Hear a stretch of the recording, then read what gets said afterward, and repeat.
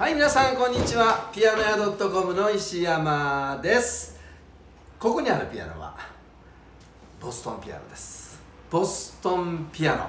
GP178 というモデルですね、えー、ご存知のようにボストンピアノというのはスタインウェイが設計をしております。スタインウェイがデザインをしてそして日本の河合楽器製作所の流用工場でですね、えー、まあ作らせてるみたいな感じですね。で、えー、設計もスタインウェイそしてこういう材料を使いなさいというのもスタインウェイからの指示で、えー、作っております。で、えーまあ、ボストンピアノはですね非常に人気があるモデルでなかなか中古では出てこないですね。というのは、まあ、いろんなピアノを弾いて最後に買うのがまあ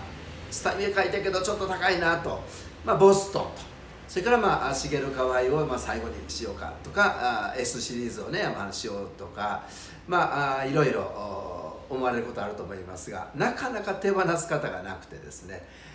手に入らないと今回ですね、えー、まあ知り合いの業者さんからちょっと1台、えー、こちへ回してちょうだいなということで回してもらったんですがまあ今回届いたのが絶品ですね。まあちょっと見ていただきたいと思いますがすごい状態のいいのが届きました。こちらです。これボストンですね。ここにボストンって書いてあります。そしてここにデザインドバイスタインウェイサンズと書いてますね。ボストンピアノ。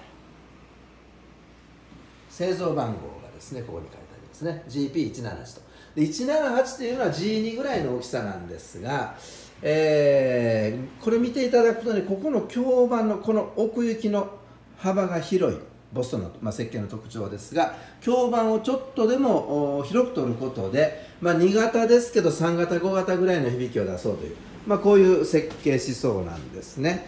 えー、見たところですねほぼ傷がない状態。めちゃくちゃ綺麗。もう絶品のボストンが本当に届きました。これ。綺麗でしょうこれ。ね。上の蓋ももうほぼ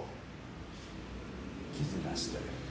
であのこのピアノの消耗具合がねどこで、まあ、どのピアノもそうなんですがどこで分かるかというとですね大体ここで分かるんですねここで。ここあのまああの皮皮というかなんかね貼ってあるんですが大体楽譜をここにねここにポンと置くんですよ。楽譜を置くとその楽譜の背の部分がここに当たってここが消耗してきてこう穴が開いたりとかしてるピアノがよくあるんですね。よく弾き込んだピアノはここ。で車でいうとブレーキの角が減ってると。もうあのよう乗ってた車になってすぐ分かるんですがプロが見たらね。あのペダルの、えー、へたり具合で分かるんですが。でピアノに関してもこのペダル右側のペダルよく使いますからこの右角のへたり具合でどれぐらい弾いてたかって大体分かるんですね、まあ、ハンマーの消耗でも分かるんですがこのピアノ全然消耗してません。めちゃくちゃ綺麗です。えー、大事に大事に置いてはったピアノかなということで、えー、もうあの絶品ですね、えー、なかなかこんな、え、いいのは、まあ、引き込んだというか引き潰したいたらあれですが引き込んだピアノもよくあるんですがこのピアノはちょっと、え、超超お得かなというような気はしますけどね。ちょっと音を聞いてもらいますね。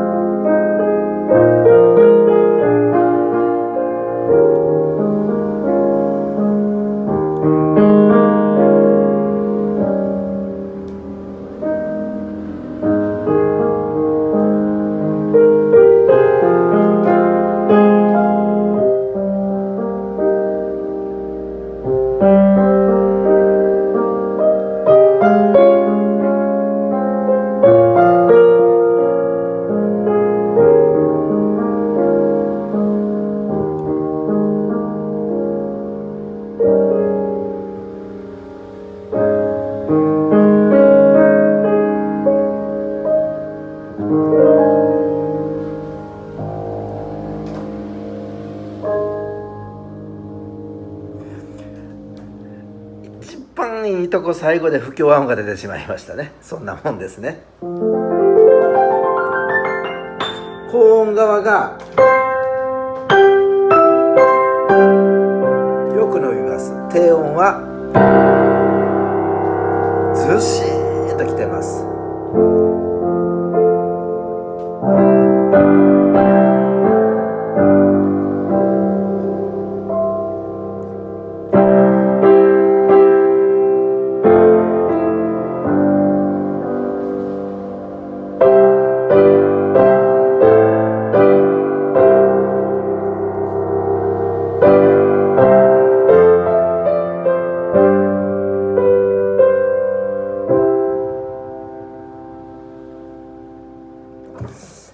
ー人生のうちでですね、えー大好きなものに大好きな時間とお金をかけるっていうのはめちゃくちゃ素敵なことです。まあ言うてもですね車買うより安いですよね。車は大体10年でガタが出てきますけどピアノは50年60年、えー手入れをすれば100年フレームなんか200年、えー持つぐらいのものです。そう思ったら、えまあこの値段は安いかなと思うんですけどいかがでしょうか？人生1回ですからね。大好きなことに時間とお金をかけるっていうのは本当に何度も言いますがすけ素敵なことだと思います。でやっぱり、えーまあ、私なんかの場合はあんまり人が持ってないものってねあんまり市場に流通してないものみたいなものを持ちたいタイプなんですね、えー車でもあんまり人が乗ってなさそうなどこにでも走ってるピあの車じゃなくてねちょちょっとおおっと思うような車乗ってみたいとかそういうまあ性格もあるんですがなんかピアノも、えーボストンの178で、まあ、そうそうあの出回ってませんから、えーまあご自身でよく考えてですね、え中古ピアノは1台限りなんでお早めにお電話いただいたらまた、えー見に来ていただきましたらですね、えーご説明させてもらいますのでね是非京都までお越しください。سلام سنة